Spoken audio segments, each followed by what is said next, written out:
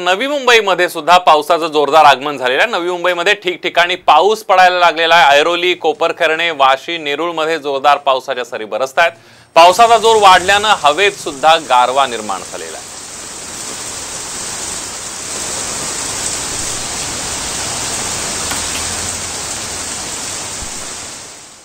तर मुंबईच्या cup parade भागामध्ये सुद्धा रात्रभर पाऊस सुरू होता. त्याचा परिणाम म्हणजे इथलं भलं मोठं झाड कोसळलेलं आहे. यामध्ये कोणतीही जीवितहानी झालेली नाही पण झाड कारवर पडल्यानं गाडीचं मोठं नुकसान झालं. दरम्यान सकाळी अग्निशमन दलाच्या जवानांनी झाड बाजूला करण्याचं काम सुरू केलं.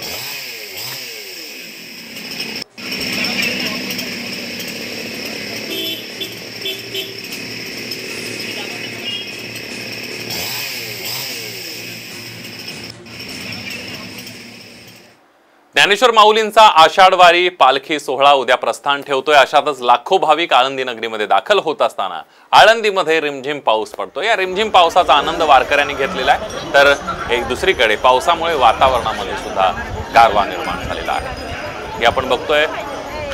ज्ञानेश्वर नगरीतली ही दृश्य.